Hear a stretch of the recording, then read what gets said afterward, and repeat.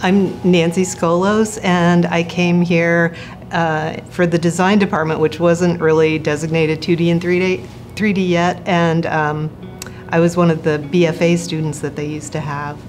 So I arrived in 1975 and left in 77. In keeping with the rest of my life planning, it all it sort of just luck it was a luck out, I think. I went to the library and just started looking at catalogs like which school looks good. And I pulled out this really beautiful tall catalog that Kathy and Mike had done and it looked so different and I opened it and I started reading it and you know the highlights for me that caught my eye were like no classes no grades this is for me because I'd been so regimented I hadn't had any sleep for two years so I was like so I applied and um, I, I got accepted because I'd been such a good hard worker and I had enough to show.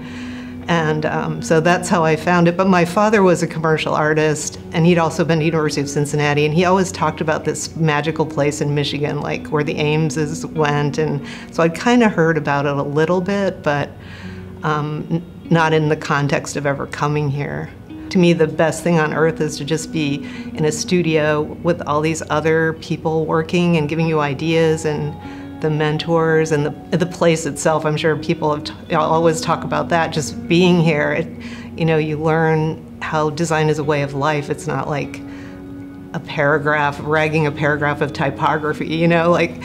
Um, and my husband and I met here, so we've we've been able to kind of take it with us and always have a designed environment. This is like the only interview I could ever do and like sincerely tell you that it was the best thing ever.